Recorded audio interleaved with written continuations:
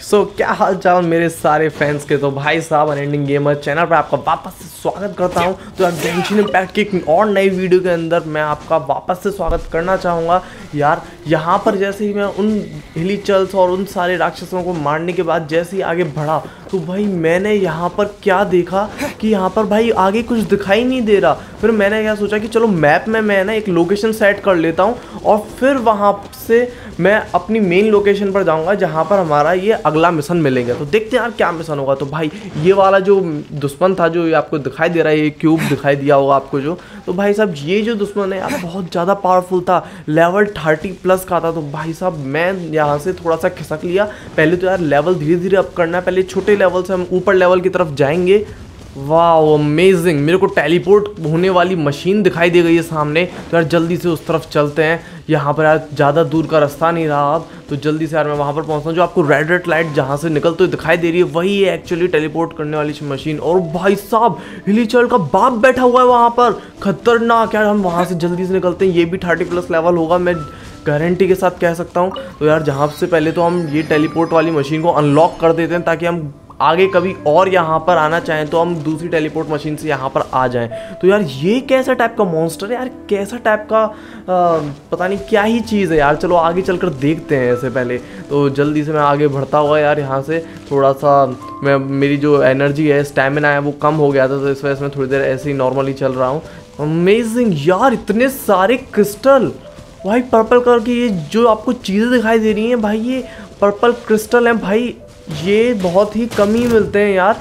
जहाँ पर अच्छी चीज़ हो और यहाँ पर ये हमारी एनिमीज़ ना आए, ऐसा हो ही नहीं सकता। और यहाँ पर इनका यार दादा दादी पता नहीं कौन लगता है यार इनके दस्ते के अंदर ये, इन सारे छोटे छोटे पर्पल कलर के यार गोल मटोल दुश्मनों का पता नहीं यार कौन है ये। पहले यार इन छोटे छोटों को मार देते हैं यार, बड़ा वाला तो यार हमें एक ही बार में निपटा देगा यार। इस वजह से मैं छोटे छोटों को मैं पहले मार देता हूँ यहाँ पे।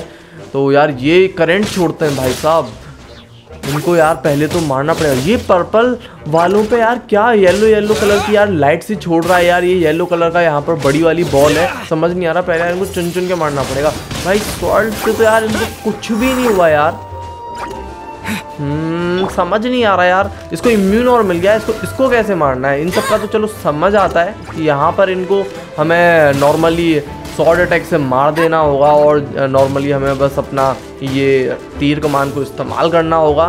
पर यार ये जो बड़ा भोंदू है इसको यार कैसे मारें? चलो यार इस मीसा वाले कैरेक्टर को यूज़ करके यार मार के देखता हूँ पर भाई यहाँ पर इसका कुछ ज़्यादा असर नहीं हुआ है। तो मैं यार काया बन चुका हूँ यार। अब यहाँ पर यार मैंने इन पर यार फ्रीज अटैक करा, पर इसका भी इन पर कुछ असर नहीं है। इनको यार इम्यून पे इम्यून मिलते जा रहा है। पहले यार ये छोटे छोटे इतने फुदक रहे हैं ना ये छोटे छोटे गोल मटोल बॉल से इनको मारूँगा यार। मेरा बहुत ज़्यादा मन कर रहा है इनको पूरा ढंग से ख़त्म करने का। मेरा ख़त्म होने पे नहीं आ रही, उल्टा मैं ही ख़त्म हो गया। ये क्या हो गया भाई? मेरे को यार दूसरा कैरेक्टर में स्विच होना पड़ा यार, मजबूरी में। और ये यार ये कब जाके ख़त्म होंगे। यार, काफ़ी हद तक बहुत पावर लो हो गई है। ये तो गया। भाई साहब, ये भी गया आप थोड़ी देर के अंदर। बस इस पर दो तीन और शॉट अटैक करूँगा। ये खत्म है फिर।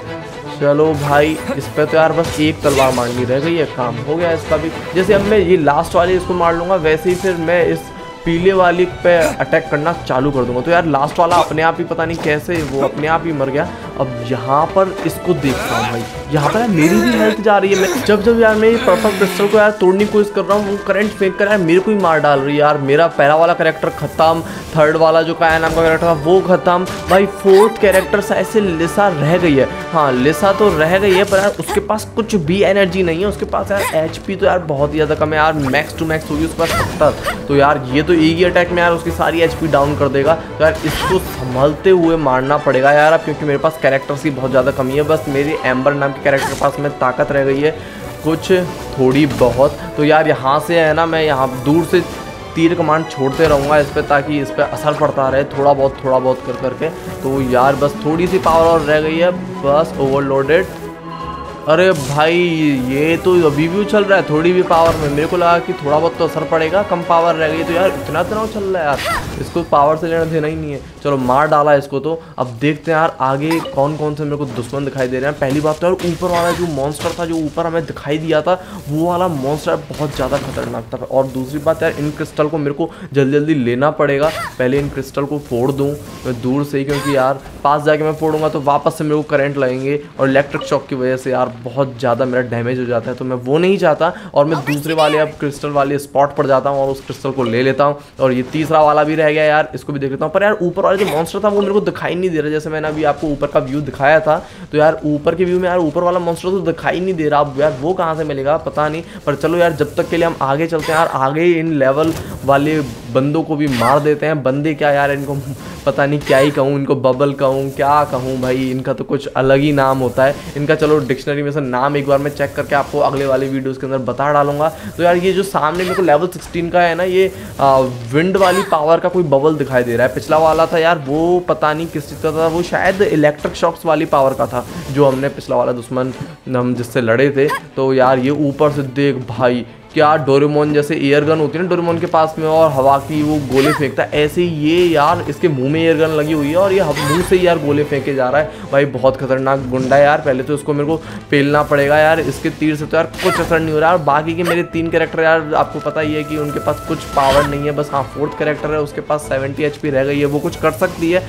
लिसा पर यार, उसका इसके अंदर कोई रोल नहीं है। वो कुछ भी करेगी तो यार वो एक ही बार में फिनिश है। तो यार, वापस से इसने विंड ब्लेड अटैक स्टार्ट कर दिया है। इसका क्या करें? भाई यार, मेरे को ऐसा लग रहा है कि इसके अंदर है ना, थोड़ा वेट हमें यार करना पड़ेगा। इसको ना धीरे धीरे करके मारना पड़ेगा। नहीं तो यार, आराम से ही नहीं मर अरे भाई, ये क्या हुआ? अभी तो इतनी सारी पावर थी इसके पास। एक साथ कम हो गई। चलो कोई बात नहीं यार मॉन्स्टर तो यार डेड हुआ, अब यहाँ पर दूसरे को देखते हैं। भाई, ये तो यार उछल उछल के मारता है। अरे, इसकी यार बहुत जल्दी जल्दी एचपी जा रही है। अच्छा ये घास के अंदर आग लगने से इसकी एचपी जल्दी जल्दी जा रही है और अपनी पावर का इस्तेमाल भी नहीं कर पा रहा। भाई, ये वाली ट्रिक यार काफ़ी अच्छी है। यानी कि इसको है ना, हमेशा सनी वेदर के अंदर मारना पड़े करेगा, इसको रेनी वेदर के अंदर बिल्कुल नहीं मारना करेगा हमें इस वाले मॉन्स्टर को। तो भाई, यार यहाँ से जो से मिला हमको, उसे मैं कलेक्ट करता हूँ और ऊपर चल के देखता हूँ, यार यहाँ पर क्या चीज़ है। अबे, ये इसको मैं मारूँगा। भाई मार तो दिया इसका यार चिकन नीचे नहीं आया। चिकन नीचे नहीं आया यार इसका। विनर विनर चिकन डिनर नहीं हुआ यार इससे हमारा। चलो यार, देखते हैं दूसरी साइड से यार, इस साइड से हमें वो मॉन्स्टर दिखाई दे जाए, क्या पता हमारा हाँ दिखाई दे गया। भाई, इस पर तीर चला के देखते हैं। यार, ये क्या चीज़ है यार? अब इस पर तो तीर भी नहीं लग रहा, इतनी ऊंचाई पे यार मैं तलवार कैसे चलाऊँगा, कुछ समझ नहीं आ रहा। इसका होगा क्या? उस पर यार हमने इतने सारे तीर चलाए पर उस पर यार कुछ भी असर नहीं पड़ा, उसका बाल तक बांका नहीं हुआ। यार चलो, ऐसा करते हैं, इन सारे ये जो आत्मा से डोल रही हैं यार, इनको यहाँ पर एक स्टैचू होता है, इनको उसमें डाल देते हैं। इसके यार मेरे को पीछे चलते हुए जाना पड़ेगा क्योंकि अगर मैं इसके पीछे चलते हुए नहीं जाऊँगा तो यार ये वापस से अपनी दिशाओं को बदल देता है और कहीं और ही चले जाता है यार अपनी डायरेक्शन चेंज करके किधर और ही चले जाएगा ये। तो यार इसके साथ साथ और इसके पीछे पीछे मेरे को चलना ही पड़ेगा। अब यार इसको जहाँ पर इसकी जो प्रेफरेबल मूर्ति या फिर जो स्टैचू कहते हैं हम उसे, वो जो दिखाई देगा सामने, जब ये उसके अंदर जाके ये हमारा यहाँ पर विंड एक्टिवेट हो जाएगा। तो यहाँ से अब हमारा विंड निकलने लग गया है। तो यहाँ पर हमें जाकर सिंपली बस अपने पंखों को खोल देना है। एम्बर ने अपने पंख खोल दिए हैं। अब उस मॉन्स्टर को यहाँ से उसको धूल चटाते हैं। भाई, ये मॉन्स्टर कुछ कह क्यों नहीं रहा? मेरे को समझ नहीं आ रहा। इसके पास जाके देखते हैं। चलो, आ जाओ इसके पास जाके देखें। साइड हो जा, साइड हो जा, आ जा आ जा आ जा। यार, इतने पास में होते तो कुछ ना कुछ कहता। ये मेरे को यार कोई और ही टेलीपोर्ट वाला होल्ड दिखाई दे रहा है। भाई साहब, ये क्या? तो यार, अगर आप भी इंटरेस्टेड हो, आगे जाकर यार, क्या हुआ एम्बर कहाँ पर पहुँची? यार, ये कहीं वही दुनिया तो नहीं है जहाँ पर यार अनएंडिंग गेमर जिस दुनिया से आया था, यानी कि हमारा जो मेन कैरेक्टर था, वो उस दुनिया से आया था। तो यार, ये बहुत ही ज़्यादा मिस्ट्री वाली चीज़ हो गई। अब आपको यार, ये चीज़ पता चलेगी नेक्स्ट वीडियो के अंदर। तो यार, जब तक के लिए चैनल को सब्सक्राइब कर दें यार, ये गेंशन इम्पैक्ट के अंदर हम कोई और ही वर्ल्ड में एंटर कर चुके हैं, जहाँ पर यार इसकी सिस्टर थी, क्या पता, ये वही जगह तो नहीं है। तो यार, ये सस्पेंस बना हुआ है। तो यार, आगे वीडियो में क्या हुआ तो यार ये देखने के लिए हमारे चैनल को प्लीज़ सब्सक्राइब कर दें और बेल आइकन को ज़रूर दबाना यार, उसको दबाना ना भूलना। अगर आपने वो नहीं दबाया तो यार आपके पास अगले वीडियो का नोटिफिकेशन नहीं आएगा, जिससे यार आप आप इसके आगे क्या हुआ है, ये आप जान नहीं पाएँगे। तो यार, अगर वीडियो अच्छा लगा हो तो उसको प्लीज़ लाइक कर दें और अपने सारे दोस्तों में शेयर कर दें। और कमेंट बॉक्स में कमेंट ज़रूर करना यार कमेंट करना बिल्कुल ना भूलना और सब्सक्राइब तो आपको पता ही है कितना ज़्यादा ज़रूरी है। तो यार जब तक के लिए tata bye see you in the next video असली मज़ा आने वाली वीडियो में आएगा, देखना।